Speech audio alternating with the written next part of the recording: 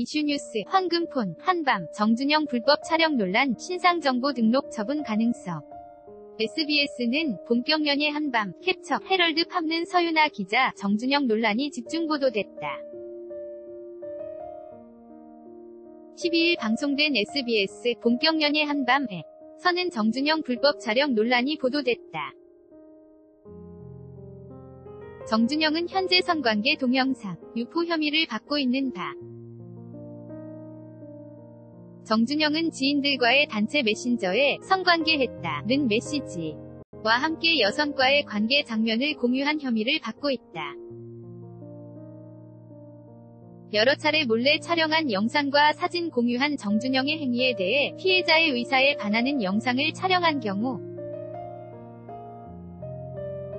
5년 이하의 징역 3천만 원의 벌금 또는 신상정보 등록 등의 처분을 받을 수 있다는 소견이 이어졌다.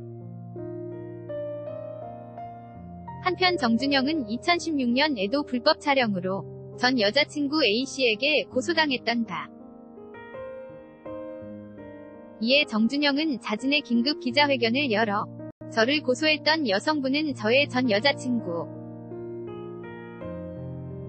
현재는 연인이 아니지만 좋은 사이로 유지하고 있다. 이번 논란을 불러온 영상은 교제하던 사이 상호위. 지하의 장난삼아 촬영, 몰래카메라가 아니었다. 다툼이 생기던 중 우발적으로 여성분이 촬영, 사실 근거로 신고한 것이라고 밝혔었다.